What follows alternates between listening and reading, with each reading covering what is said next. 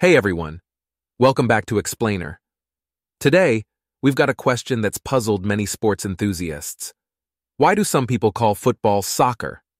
Well, today we're going to dive into the fascinating history and reasons behind this naming conundrum. So let's get started. To understand why the beautiful game is known by different names around the world, we need to go back in time. The roots of modern football can be traced to England in the 19th century. In the early days, there was no standardized set of rules for the sport. People played a variety of football like games with their own local rules. It wasn't until 1863 that the Football Association in England established a single set of rules. And guess what? The game we know as soccer today was born. Now let's talk about the name soccer. The term soccer actually has its origins in England. It comes from the word association, as in football association. Back then, to distinguish between different forms of football, they added the er suffix to create assoc football. Over time, this was shortened to soccer. But here's where it gets interesting. While soccer was catching on in England, other countries were developing their own versions of football. In most of the world, the term football was adopted to describe the sport. This includes countries like Brazil, Germany, and Argentina. Now, Let's talk about the United States. In the late 19th and early 20th centuries, various forms of football were being played in America.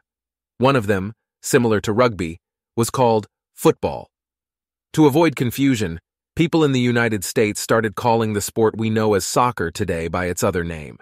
So, in the United States, soccer became the preferred term, while football evolved into American football. This is one of the main reasons why Americans call it soccer. Fast forward to today, and you'll find that the naming divide is still very much alive. But it's not just about history, it's also about culture and tradition. In England, where the term soccer was born, they've largely moved on to calling it football exclusively. It's deeply ingrained in their culture, and football is what comes naturally. On the other hand, in the United States and Canada, soccer is the commonly used term. It's what's been passed down through generations. But no matter what you call it, the sport itself remains a global phenomenon. It's a language that transcends borders, a passion that unites people from all walks of life. So whether you're a fan of football, soccer, or both, remember that the love for the game is what truly matters.